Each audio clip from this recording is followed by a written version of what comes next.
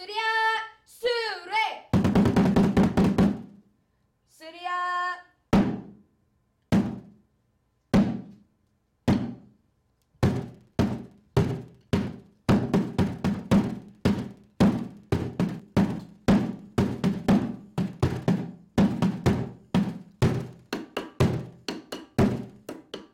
um, my sensei, Kenny Endo, he um, taught me about this method of teaching um, on a tire, which is uh, packaging tape over just a tire and then duct tape around it so it can keep that percussion feel that a taiko drum would originally originate when you pound it.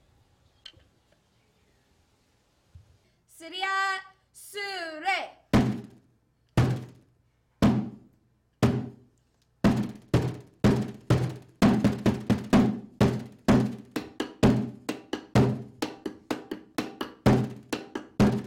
I chose taiko drumming as my independent project because I already play the drums and I really wanted to learn another form of a percussion instrument and I like being musically rounded so I thought hey why not Japanese taiko drumming?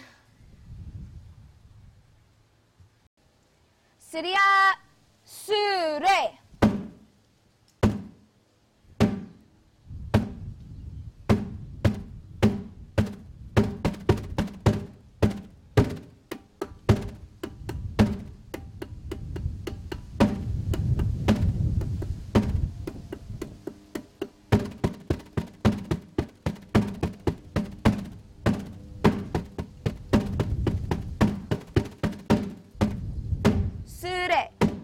today.